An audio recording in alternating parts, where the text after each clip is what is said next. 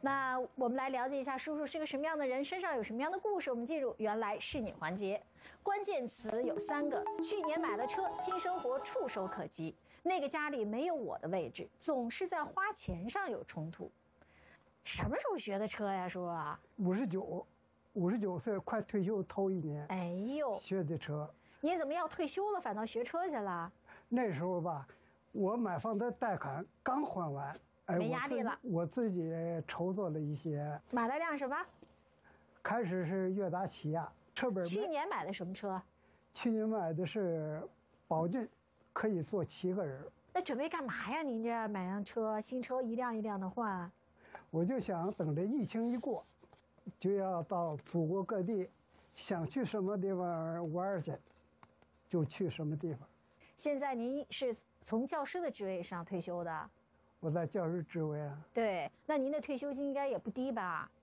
呃，六千三零点。啊，六千多块钱。然后房子，您现在是？一百平米。嗯，自己买的房子。说三室两厅也行，说三室一厅也行，双卫。所以将来老两口也足够了，是吧？对。这就像您说的，这个新生活真的触手可及。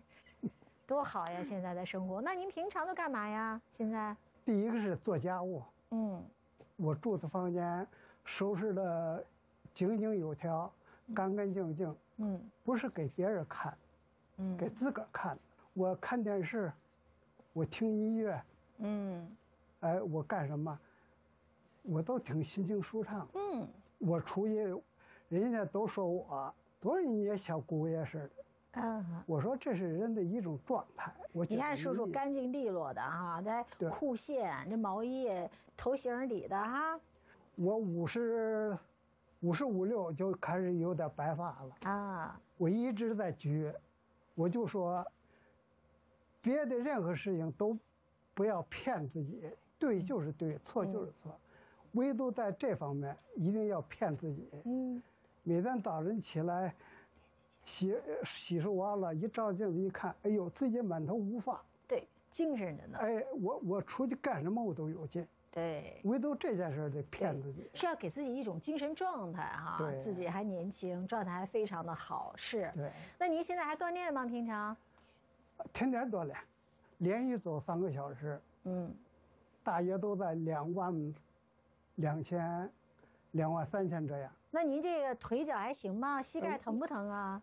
我没感觉，到家了我照样啊做，该干啥干啥。这样子反而不好，对，特别是老年人的一个膝膝关节，他是走走也不行，老年人不要超过一万。